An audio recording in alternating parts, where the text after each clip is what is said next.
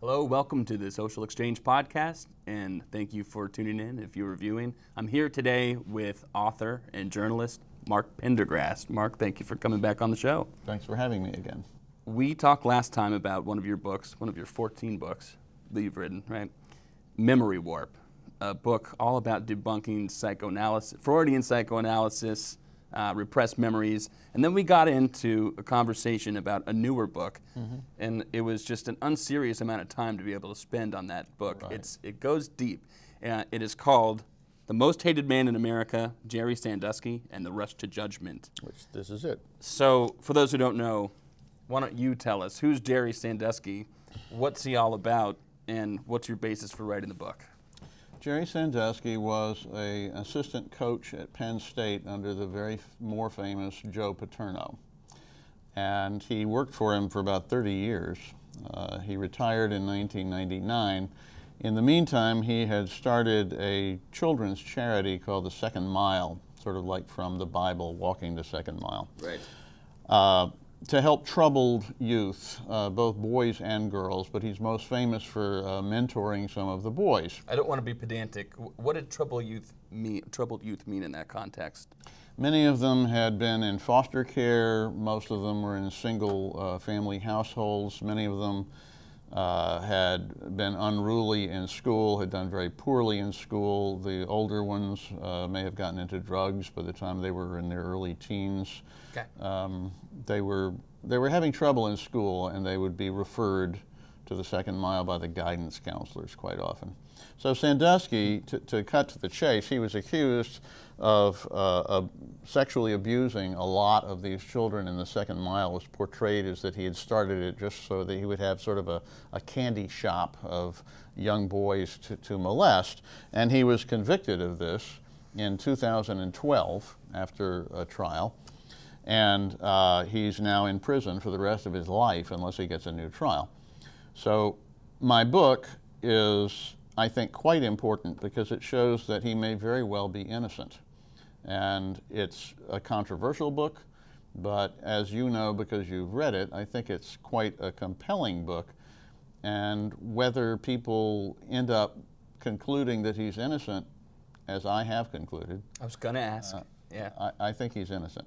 Um, I've gotten to know the man fairly well. I've visited him a couple of times in prison, but I've had a lot of correspondence with him. I've gotten to know his wife, Dottie and his five children. I've uh, interviewed all of them that, that are, remain convinced that he's innocent. The mm. sixth child, um, they're all adopted, by the way. Right.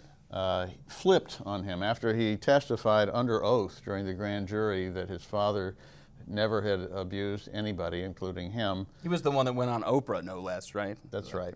So he, among many others, uh, went to therapy and unrepressed memories. So the reason that I got interested in this, let me just say this, mm. is that a woman named Glenna Kirker, who deserves a lot of credit, uh, emailed me out of the blue in 2013. She said, I've read your book about uh, repressed memories. Did you know that the Jerry Sandusky case had a lot of testimony based on these very questionable pseudoscientific uh, recovered memory? I said, no, but I know he's guilty.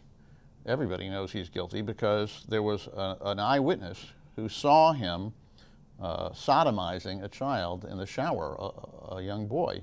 And, you know, there's no way that I'm going to defend somebody like that. And she said, well, that doesn't, that doesn't stand up either. You need to look at this case. Wow. You know, she really impressed you. You didn't know who she was, just no. uh, someone who'd read Memory Warp. No, but she said, you know, he didn't actually see anything. He just heard slapping sounds that he interpreted as sexual. Well, she was right on all counts. So I became, frankly, kind of obsessed with this. I, once I dug into it and I began to read the trial transcript and then I began to interview, the first thing I did was to interview Sandusky's children because I figured, look, he's, they're all adopted. They're not even related to him by blood. If he's a pedophile and, uh, and, and uh, five of these were boys, surely he must have done something to one of them. But they all told me the same thing, with the exception of Matt Sandusky, the one who flipped because of his repressed memories. They all said, Dad is a touchy-feely guy. He never molested us in any way. Uh, he's a great guy, and he treated these second mile kids like they were extended family. And so he has absolutely no clue about what's politically correct. He has no clue that it's not a good idea to shower with children if you're an adult, or to hug them, or to do all the things he got, or to put a, he would put his hand on their knee and squeeze it when he was driving in the car. Uh, that's what they told me. And then, you know, it's funny. I, I, I had two choices about how I should write this book. Let me just say this. I, I concluded that I would do it sort of in the reverse order of, of, of, what I would normally do. Normally, if I'm writing a book about somebody, I would write their about them. Uh, you know, right. what, what is this person like? Uh, what have I come to know about them at the beginning of the book? But if I'd done that in this book, everybody would have dismissed it and said, oh, come on. Jerry Sandusky being a decent guy, that's ridiculous. What about all those? Interesting. Interesting. What about all those people who accused him? So, what I did, as you know, is I went through and I very systematically went through every single accusation against him and examined them very closely, and basically none of them stand up. Then, in the last part of the book, which is called The Real Jerry Sandusky, yeah. I talked about his upbringing. So let's reverse that in this case, if you don't mind. Let me tell Please. you a little bit about how he was brought up. Okay, don't let me forget. I have a question for you about his kids, but I'm going to lock that right here. Go ahead. Okay. well, his parents were named Art and Evie Sandusky. They were his grandfather came over from Poland, and the real name was Sandecki, but it got changed like a lot of names do. So Art was this great guy, beloved in the town of Washington, Pennsylvania, small little town.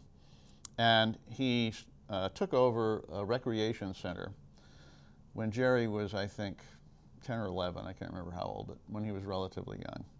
And they moved there. They lived on the second floor of this recreation center, which was called the Brownson House. And his father and his mother were both these wonderful people who would go out and give turkeys to poor people at Thanksgiving and have Christmas gifts for everybody, who would take a kid that was in total trouble, a real juvenile delinquent, and turn them around by opening their hearts and their houses to them. And his father had a big sign over his desk saying, you know, something like, I can't remember what it is, something like there's no bad boy, or there, you know, every boy has a possibility of redemption. Okay. So they didn't have their own shower on that second floor. So Sandusky, Jerry, grew up uh, taking showers with men and other boys. Uh, and I interviewed some guy who said that in those days, when he went to the YMCA, uh, everybody swam naked, the, the boys and the men together. So this was sort of a normal thing.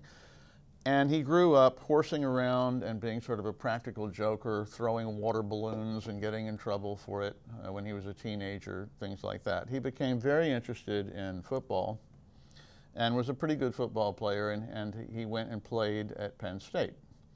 Uh, he wasn't like a star, but he was good. What he mostly was was he was a very good coach. He, he eventually became a coach, as I said, at Penn State, uh, defensive uh, coordinator. And Unlike Paterno, who was a real stickler and a disciplinarian and who yelled and screamed at his players, and many of them absolutely hated him, and, but only later in life said, oh, he, he built my Yeah, character. he had a great rapport with those students for sure. He did. But he was not totally. Uh, Sandusky was the one who joked around with them and who, was, who got the most out of them by being uh, friendly, not by yelling. You think so? Oh, my my family in Pennsylvania are gonna are gonna hate this right now. Uh, well, there's a book. There's a. I got this mostly from a book by a guy named Joe Posnanski. He wrote a biography called Paterno, which came out not very long ago, mm. and he said, "Yeah, this is the pattern." And so Sandusky and Paterno did not get along very well together. Uh, Paterno felt that Sandusky was too loosey-goosey with the players and not disciplined enough, and he hated the second mile program because it took his focus away. He thought everybody should be completely and totally devoted to Penn State football, period. The Nittany Lions over everybody. And Sandusky was very devoted to the football team, but he was also devoted to the second mile program. Anyway, which he started in 1977. And he not only started it, he was very involved with it. He would go in the summer and he would, they would do silly skits. He had a little singing group that uh, he called the Great Pretenders, named after an old 1950s song. But when all these allegations came up, of course, everybody said, ah, the Great Pretenders. Um, he wrote a book called Touched, which, you know, if you're a, if you're, if you're a serial pedophile, Right. In retrospect, I don't think you would name a book Touched. But what he meant was that he had been touched by so many lives of so many people. And, you know, I think that's who he is. I mean, uh, he and Dottie are deeply uh, uh, uh, Christian. They, uh, they, I, I, they didn't want to talk about their sex life, but I felt, I felt like I had to ask them about it. Both of them said they had a satisfying and regular sex life up until when they were in their 60s, uh, two or three times a week. Sandusky says, cl- claims that uh, she was his only sexual partner, period. That they uh, only used missionary positions. They, I mean, they're totally the most straight-laced people in the world. They don't like, he never curses. Uh, so it's, it's ironic to me, you know, they looked for pornography on his computer and they didn't find any. Now, it took them two years before they looked at it, so maybe he erased it all or something, but I think that you can tell, you can find it anyway if you're an intelligent person. But he had no pornography anywhere, uh, whereas the guys who were uh, uh, prosecuting him were sending grotesque, racist, and, and misogynistic pornography to each other, Yeah. har, har, har, Yeah. while they were investigating Sandusky. So there, there are ironies galore in this case. So anyway, that's basically who he is. And I talked to a whole bunch of his friends. Uh, I talked to a lot of the second mile kids who did not ever accuse him, and the vast majority didn't. They talked to somewhere like 600 of these uh, second mile kids, and they were. I've got, police uh, e- emails saying, "It's so frustrating. We've been interviewing all these kids. They say Sandusky's a great mentor, and he didn't, and they don't believe these things against him. But that didn't influence the police in any way at all, except to become more frustrated." So some of the things you were saying, I think you're smuggling in so much nuance per the book, but they sound vague as we talk about them now in our half hour that we have. So things like he, you know, his kids thought he was a great guy. He was, yeah, he was rough and tumble guy. He was touchy feely, but never crossed the line. Um, things like that, and things like you know he had this upbringing. He was just kind of a silly guy. He, had a normal sex life. Couldn't it be that he had some sense of boundaries. He had, you know, behavior that was, uh, you know, not okay, but Yeah, he had some sense of boundaries. How do you flesh that out? It's entirely possible. I, I don't think so, having gotten to know him fairly well. But, you know, I mean, he talked about boundary issues. When he, he had an interview, uh, a prison interview with John Ziegler, who's the other guy who, uh, I have, there's a whole chapter on him in, in my book, who, before I did, concluded that he thought Sandusky was innocent. And, and that was after he went and, and, and did an interview with him. But in the interview, you know, Sandusky said he thought he had some sort of boundary issues. And I asked him, What did you mean by this? And so did Ziegler. And what he meant was, according to the boundaries that society lays, he had, had issues. He's quite uh, uh, steadfast in saying, you know, I, I'm not sexually attracted to children. There's a very famous interview that Bob Costas did with him Yeah. that, that uh, was used in the trial against him because Costas said, Are you sexually attracted to, to boys? And instead of saying, like you'd expect, any, nor- anybody who's accused of this would say, No, absolutely not. He said, Hmm, sexually attracted to children. Hmm, uh, no, no, I'm not sexually attracted to children. It was like, Oh my God. But if you think about it, you know, and Ziegler makes this point, you know, that's who Sandusky is. He thinks about everything before he answers it. He's the most painfully honest person I've ever met in my life. Somebody who is this polished pedophile who's gotten away for years with, with abusing all these children would not answer like that.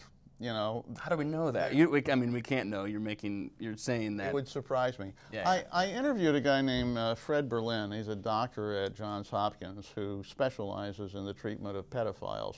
And one of the things that, uh, that I asked him was, you know, I said, is Sandusky a pedophile because he liked to spend time with children? And he said, not necessarily. It could be. I mean, that could be a terrible indicator. But there are people who like to spend time with children, who want to help children. Um, I said, well, do you know of any uh, serial pedophiles who have maintained their innocence? Because most of them, don't they It's a good question. admit it? And he said, yeah, most of them do admit it. They'll rationalize it. Uh, they'll say, oh, it was really love or whatever. Uh, but usually they admit it. He said, I've only had one case where somebody maintained their innocence, and they were innocent. It was a case where DNA uh, cleared them. So that was interesting to me. So, you know, I think what most people hear, and what and you and it's difficult for them to get beyond it is this guy took showers with children. Mm-hmm. He hugged them naked in the shower sometimes and said, "I'm going to squeeze your guts out." What kind of pervert would do that? And all I can t- say is Jerry Sandusky would do that. And he, I asked him about that. I said, How could you do something like that? He said, Well, I wanted to show enthusiasm. These, he used the word enthusiasm a lot. He said, These kids had no childhood. And sometimes maybe I treated them like they were younger than they were because they seemed younger. And he tells a story of a kid that he, you know, had at Christmas who was like 16 years old, who's playing with toys of little children, so excited because he never had these things. So he was trying to be an, an enthusiastic and, and decent person in their lives. He helped them develop better study habits. He would uh, try to, he, he did a lot of stuff for them. Now, maybe he did this because he was really uh, sexually attracted to them. I cannot tell you because I can't get inside his mind, but I personally don't think so. Uh, having talked to a lot of these kids, and, and you've, but you've read all this. So at least, let me let's say this God bless you for actually reading the book because so many people form conclusions about it. I was gonna say uh, you get some uh, very few, but you get these one star reviews. I've seen them mm-hmm. on Amazon, and I I read them, and it's like, uh, fine if you want to give it a one star review, mm. but you didn't read it. I know you didn't read. I know that person. It's didn't read it. obvious they didn't read it, for which reason Amazon took them off. Right. They're not there anymore. So, So, but uh, so you know, we're this stuff does give me the creeps a little bit. It's like mm-hmm. I get it could be his upbringing, and I get that he could have meant all good and well by it. Yeah. Um, you know, but at the same time, I'm wondering, does he have some boundaries here? Does he have a lack of boundaries? There does have to be a way that an adult behaves, and I'm thinking about if I have, if my kid is in that program, showering with them, is that the norm that was accepted by all, or was that something that should give everybody pause? Then we can get into the re- the, the most damning part of Right. uh, your book I mean, soon. it can give but- you pause. uh, You know, it can give you pause. It did not give a lot of coaches who testified for him in a trial any pause. They Mm. said, you know, this is the way we all were. This is, you know, yeah, I would, I would shower with kids. It's not, not a big deal. The other thing is, you know, I- I have a lot of friends who are anthropologists. Yep. Uh, I like anthropology. And so if you look cr- at cross cultural practices as studies, what is completely considered terrible and inappropriate in our culture may not be considered that way in another. This was a 1950s culture that he sort of maintained. His children all called him uh, living in a Mayberry world. Um, that he basically uh, uh, was a guileless person. Anyway, that that's the last part of the book. We should talk, and, and let me just say, let me let me say this because I say it over and over again in Yeah. any of the interviews. Please, whoever wears the camera, read the book. Yeah. Re- read the entire book, because uh, if you don't, there's no way I'm going to convince you of anything with this, Uh, and and then you may still have questions as you do, uh, Yeah. which is fine. Yeah, but I that is what I wanted to make sure that people understand is that you that's what I mean by you smuggle nuance into our conversation now. It's very detailed. I mean, you don't miss a beat in this book. So people have to read it. I mean, they just have to read it before they can comment or uh, make wind about it. But let's get into what I said was the most damning Right. evidence against your opposition here in writing this book. Um, maybe we can talk a little bit about your last book, briefly, Memory Warp, Freudian Psychoanalysis, Repressed Memories. What's that all about? That one right there. what is that all about, and how does that apply to this case? Well, the idea that Freud came up with was that if something horrible happens to you, the worse it was, the more likely you are to forget it, that you would repress yeah. the memory and then you might have it come back to you later in life. I don't think there's anything to this. In fact, it goes against everything we know about how memory does work. We tend to remember the worst things that happen to us, especially if they happen over and over again, yeah. all too well. So, whenever I see a case that involves repressed memory, it raises my antenna. And I did see that with a guy named Dustin Struble, particularly in his testimony. Nobody ever used the word repressed memory during the trial. The defense attorney was completely clueless about it, but it was very obvious to me. He's talking about how, oh, why did you change your testimony? Well, these doors have been opening in my mind, and I had it hidden away in my mind, and now I realize all these things. So he was the only one who allowed me to interview him. And I found him to be a very nice young man, a very sincere young man, who I said, What would you have told me about Jerry Sandusky in 2010 before the police came to you, before you went into therapy about Jerry Sandusky? He said, I would have said he was a mentor, a great guy, kind of a father figure. I said, Well, what would you have told me about abuse? Nothing. I didn't remember any abuse. So I said, Well, was this repressed memory therapy? Oh, yes, absolutely. Both of my therapists think I have repressed memories, and I've been remembering them not in therapy. He remembers it outside therapy when he's triggered by something, but he's been prepared. It, it doesn't really matter whether it's in therapy or not. If somebody tells you all your problems came from being abused, and I suspect it was your father, or I suspect it was your coach, or whatever. Uh, you're likely to remember it. There have been some interesting studies in the meantime um, that show that we can induce memories very easily uh, in people. So I guess we don't need to get there, but that's true. So um, that uh, that's one case, and, and there was there were indications. Uh, very strong ones otherwise that there were repressed memories involved in the case. One of them was the Attorney General, Linda Kelly, after, right after the uh, successful trial against Sandusky, said, you know, something like, it was so hard to unearth these memories from these young men. It was really difficult to, to get Isn't them to say these things. It was amazing.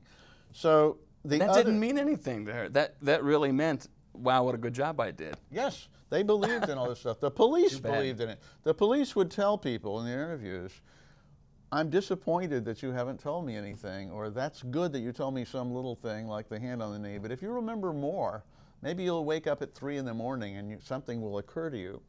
Well, that's just not the way memory works. You yeah. remember it, or I mean, you know, there are things that, that that that you can you've forgotten and that you remember, but not generally sexual abuse, not not terrible things. Right. The, the, the other thing I think we should talk about is the sodomy in the shower thing. Because yes, I was I was going to bring that up. And and McQueary. Yeah, McQueary, yeah, yeah. Mike McQueary was a uh, graduate student at the time, and but you know aimed towards being a coach. That's right. the way they get a lot of their free labor at Penn State is uh, and anywhere and anywhere. Is, Give is, Penn State a break. Okay, no go. so he was working as an assistant coach. He went to put some shoes away one night, which probably was in December, December the 29th of 2000. Um, and uh, he heard slapping sounds. And he says that they lasted about two or three seconds. This wasn't a very long lasting sound. But he thought they sounded sexual. So when he went into the locker room, he looked in a mirror and he saw a kid's face. He thought they were about 10. It turns out they were uh, about 14. Looking around the corner of the shower, an arm comes and grabs this kid back. That's what he saw. That's the entirety of what he saw. And then he saw Sandusky and this boy walk out of the shower later. When you say that's what he saw, that's not now what he says he saw. That's right. That's right. But that is what he initially said. Well, that's what he told his father and his father's boss, who's named Dr. Jonathan Dranoff, right. yeah. that night because he was very upset. There's no question. He thought Sandusky was having sex with this boy. Yeah. He was really upset. He called his dad. His father said, Come right over, we'll talk to you, and and Dranoff, who is the one that I basically seems more trustworthy than anybody else in this because he said the same thing the whole time. He said, "But Mike, what did you see?" He asked him that three times. But what did you see? And Mike didn't see anything sexual. Hmm. But he, he thought it was sexual. So for that reason, Dranoff is a mandatory reporter. That means if right. he, if he right. thinks that there is sexual abuse going on, he legally must tell the police. He did not do that. He did not do that because he didn't think that it's, it was sexual. It sounded like maybe Sandusky was just horsing around with a kid, which is, in fact, what he was doing. Uh, so 10 years later, uh, when the police come and they've heard that McQueary had seen something or heard something, they heard something about him.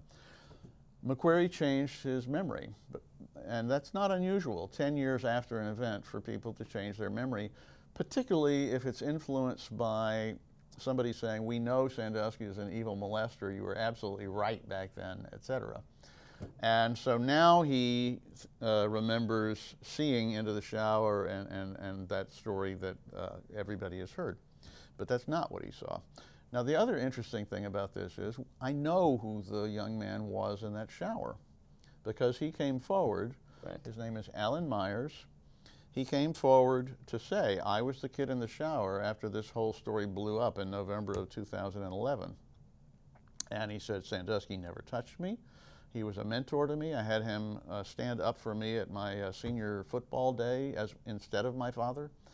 Uh, I lived with the Sanduskys uh, for several months uh, after I graduated from college, I think. Uh, I drove hours to go to his mother's funeral to show my support for him. He's been nothing but a great guy. The only people he was angry at were the police because the police had tried over and over again to get him to say something and he felt yeah. pressured. Yep. Well, so then guess what? Two weeks later, Alan Myers, who has a DUI that he's facing, has a lawyer named uh, Andrew Shubin, who turns out to sort of like be the main lawyer representing lots of these Sandusky victims. He gets Alan Myers to say, oh no, I was abused. And I think he probably sent him to therapy because he sent almost everybody to therapy yeah. to help him remember things nobody ever called Alan Myers to testify because the prosecution was afraid because he'd given this incredibly strong statement. The defense was afraid because he'd flipped.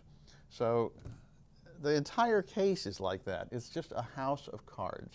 Yeah, and you go through it pretty well, and each case, be damned. I mean, really, there is no good evidence in, in each one of these uh, witnesses. I do want to go through, though, a timeline from the 90s and see what you make of it. So we have just real quick because I can't believe we're almost out of time. I guess that's what happens when we try to get into this territory. Sorry. no, I mean, hey, what were we gonna do? So I have okay, 94. Um, a person we call victim number seven reports inappropriate contact in the showers. Uh, can no, you correct no, me if I'm wrong? D number seven is Dustin Struble, and That's he Dustin didn't report anything. 98 is the first time that any kind of Oh, right. Okay. So in the in the earlier 90s, these are ostensible memories of contact happening. Is, is that right, or am I getting am I totally messing up dates here? It could be that they were saying, "Oh, this happened when I was a second miler in 1994." Okay, Let, us get right. let's let's get on to. So in, in 98 that happened. 98 University Police investigated. Uh, June 1st, University Police interviewed Sandusky. No charges were filed. 99 Sandusky retired from his right. job as a defensive coordinator, um, and it was suggested to him that he stop using facilities. Not then. Disengage. Not then. No. When he when he retired in 1999, yeah. he was given emeritus status. Yeah. And he had a key to the Penn State locker rooms. He had right. an office on the Penn State campus. Right. So that was fine. He had had this incident in 1998, which turns out to be uh, the, the first such uh, time that anybody said anything. And it was a mother who was upset that Sandusky had been showering alone with her kid, whose name was Zachary Konstas. Yep. And so they interviewed him the next day, and he said, no, nothing ever happened. He didn't do anything to me, um, period. So they dismissed the case. They also had, they tried to do a sting operation, but, you know, that amounted to nothing. So it should have been dismissed. Oddly, Constas never remembered. He went to therapy, but he never could come up with something. But they still found him guilty in that case. He because he supposedly was grooming him. He wanted to have sex with him. Anyway, the 1998 case didn't amount to anything. Then in 2000, the McQueary incident. That's Yeah. when they said to him, "Don't shower with kids anymore." And that's what got everybody in trouble. That's what uh, why uh, the college president, uh, Graham Spanier, eventually got fired and, and uh, is facing prison time. Yeah. And Tim Curley and Gary Schultz, the administrators, et cetera, they all concluded that Sandusky had been horsing around the shower, which was true. Right. But instead of turning him into the police, they said, look, it's just not a good idea for you to bring kids in, uh, to the Penn State campus. And so he, he didn't. That was the end of that. We've got so little time. I wanted to get to so much more. Sorry, man. but I'm do want to. No, you know what we should do if you're up for it. Let's do a longer audio version of this podcast that we can do uh, time frame of our leisure if you have the time. Oh, Um, I'm be glad to do that. So let me just ask you this. This is what I call it's, this podcast is called the social exchange. Right. And it's almost I, I hate to call it the ante for being on the show is to do this segment which I call uh, the charity segment. Can you reserve a room in your mind to paint the most absolutely charitable, realistic view of your opposition in this case? Someone who would say, I think Sandusky's guilty, man. Maybe they even agree with you about repressed memory. What are some good arguments on that side of the aisle?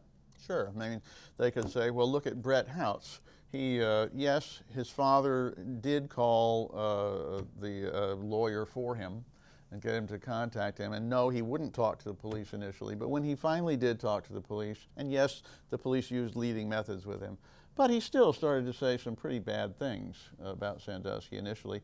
And what about uh, Michael Kajak, another victim, who said uh, uh, the very first time he talked to the police that some bad things had happened, and he, as far as I know, hadn't been in therapy. So, what about all these things, Mark? That's what they could say. So, this is, um, I know you've read this top to bottom probably more than once. Jim Clemente's analysis of the situation at FBI. Here's just a quote uh, from that 100 page or so report that was an analysis that was um, requested by the Paterno family, actually, I believe. Is that right? That's right. Okay, so the quote is This case is a textbook example of how people in the general public misinterpret the behavior of child sex offenders. And Jerry Sandusky is a textbook example of a preferential uh, child sex offender and a nice guy, acquaintance offender. He effectively groomed most of the people who came in contact with him, including child care experts, psychologists, professionals, celebrities, athletes, coaches, friends, and family. The sad truth is that people do not recognize the quote grooming behavior of quote nice guy acquaintances, offenders, especially when they know or are close to that person. What do you make of that? Well, Jim Clemente has his sort of little one box way of looking at everything.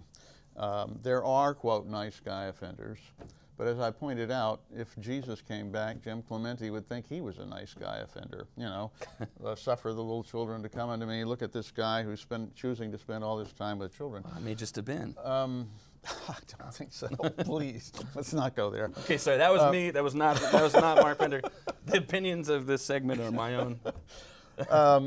Yeah, no, I don't buy it. And uh, I, again, I, I did, uh, uh, you know, I talked to Clemente, but I also talked to Fred Berlin, and I agree with him much more. He said, yeah, I mean, there are, there are people who become coaches or elementary school teachers or uh, in other, you know, choose occupations, priests who choose it because it will let them spend a lot of time with children and they are sexually attracted to them and they're pedophiles. Yeah, yeah. That's true, but that doesn't mean that if you choose to spend time with children and you're an elementary school teacher or a priest that you're a pedophile. The old correlation causation problem, you know. Yeah, exactly. Let's end here. I was talking to you at the beginning of the segment, or actually before it started, that I read this in two different spaces. I feel like two different people reading the book. On one hand, everything you say about repressed memory, it, it's just so right on. You go into every single detail and explain how there was not much wiggle room for something else other than a, a planted repressed memory to have happened in a lot of these cases.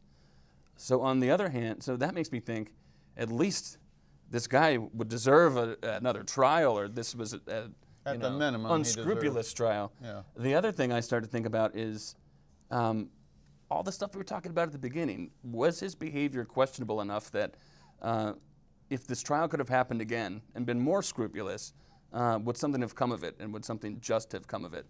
Well- What's justice in your mind at the end of the day? Sorry. Well, I, I- as I've told you, I think justice at the end of the day is that he should be freed. I don't think he did anything. But that's up to a jury. And 12 men, especially 12 men and women, especially uh, in cases of sexual abuse allegations, they can be emotionally swayed even when the facts don't necessarily uh, Sure, uh, okay. sway them. So people are found, innocent people are found guilty quite frequently, we know now, because of the DNA exonerations. And they're usually in highly emotional cases of uh, sex abuse or murder. Um, so I don't know how another trial would come out. I can't tell you that. But he deserves another trial, there's no question about that.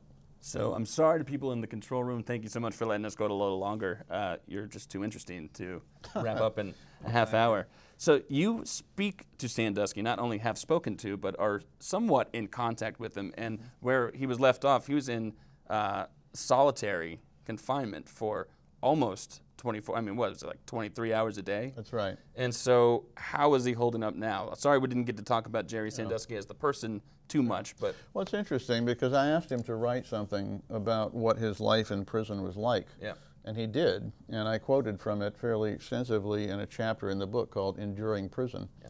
It's horrible. I mean, I think we could go on and on about solitary confinement. I think it's a form of torture. I don't think anyone should be in solitary. yeah. And there are, Guilty 80, there are 80,000 people or so in solitary confinement now in the United States.